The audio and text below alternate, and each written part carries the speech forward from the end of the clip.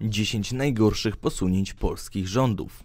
Dziś powiem o najgorszych ustawach i decyzjach polskich rządów po 1989 roku. Postarałem się wybrać akcenty, które jednoznacznie zostały okrzyknięte jako złe pomysły, także zapraszam. Ustawa o IPN z 2010 roku. Platforma Obywatelska. Jak wyjaśnia dyrektor Biura Udostępniania i Archiwizacji Dokumentów IPN Rafał Leśkiewicz, nowela dotyczy sytuacji, w której osoba, co do której z akt Instytutu wynika, że współpracowała z komunistycznymi służbami, zwraca się o udostępnienie dokumentów jej dotyczących.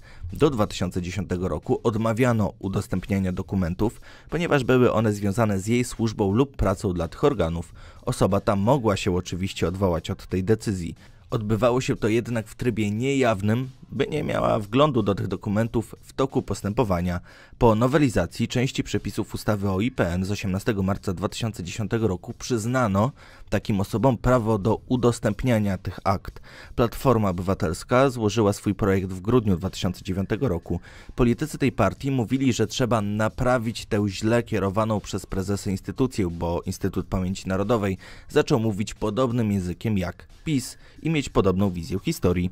Jaki jest problem? W 2010 roku PiS nie miał dostępu do IPN jako takiego, gdyż rządziła Platforma Obywatelska. Ustawa z 2010 roku pozwoliła upolitycznić Instytut Pamięci Narodowej. Ten jednak nadal jest problemem dla Platformy Obywatelskiej i ta zabiega teraz o całkowitą likwidację instytucji. Właśnie dlatego, że nie chcemy wojny.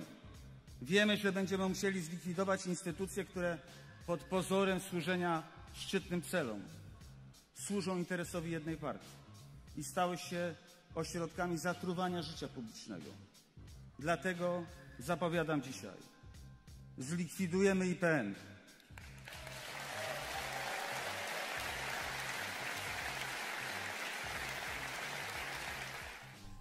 Reforma sądownictwa, Prawo i Sprawiedliwość.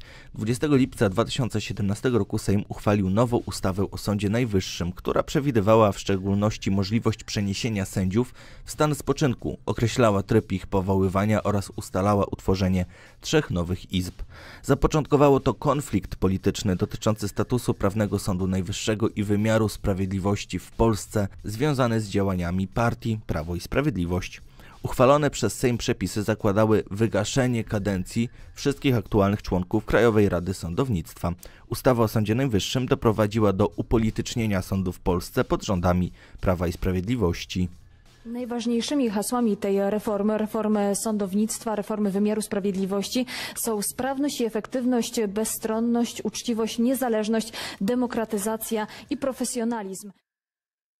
Zniesienie wiz dla Ukraińców, Prawo i Sprawiedliwość. 11 czerwca 2017 roku został zniesiony obowiązek posiadania wiz przez obywateli Ukrainy podróżujących do Unii Europejskiej. I pamiętajmy, że ta ustawa wywodzi się właśnie z Unii Europejskiej, jednakże PiS ją zaakceptował.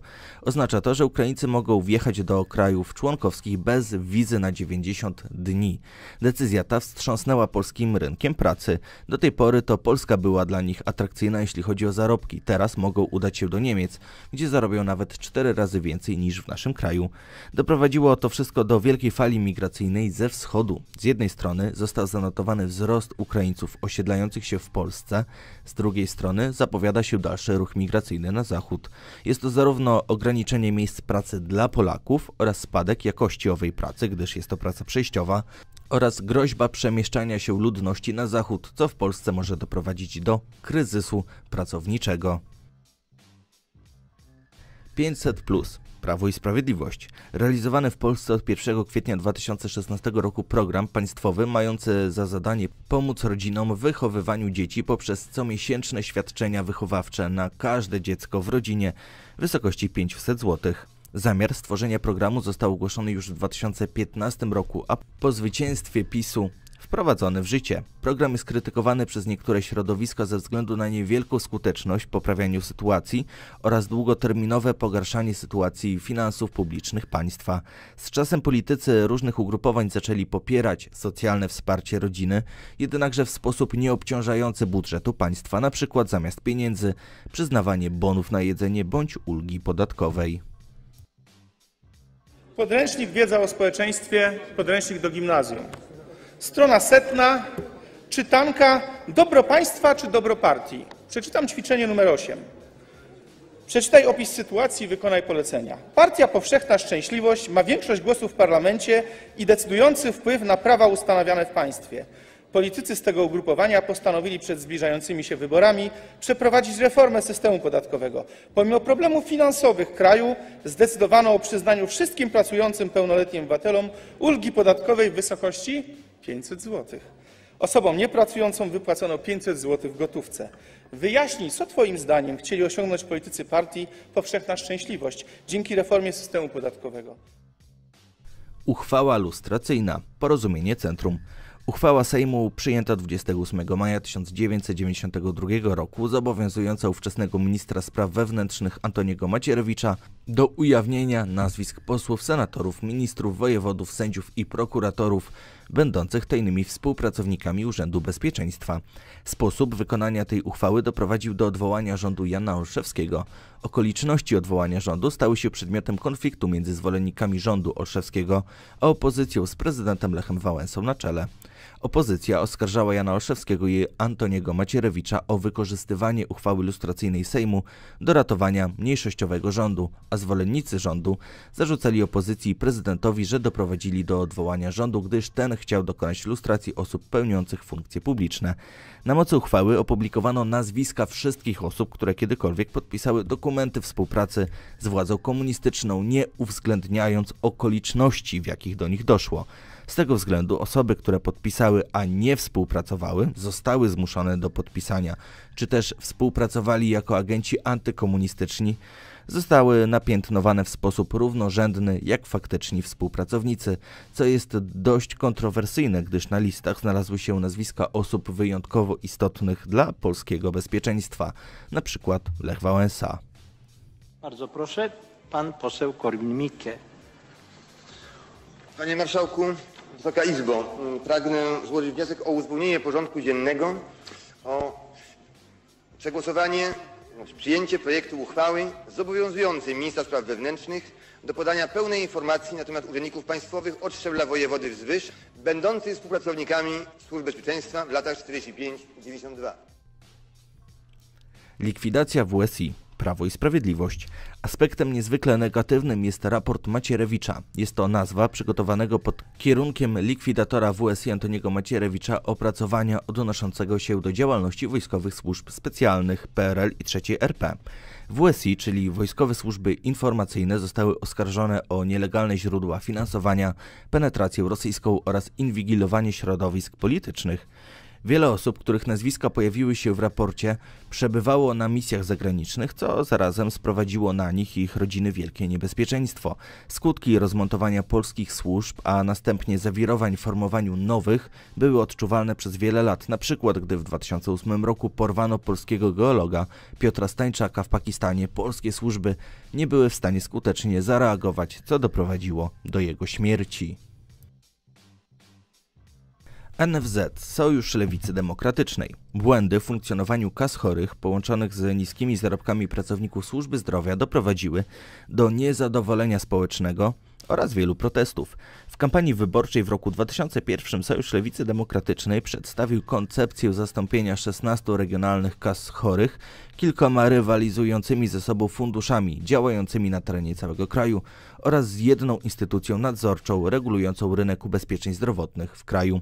Po wygranych przez SLD wyborach ostatecznie koncepcja wolnorynkowa przegrała i postawiono na Narodowy Fundusz Zdrowia z oddziałami regionalnymi i centralą w Warszawie.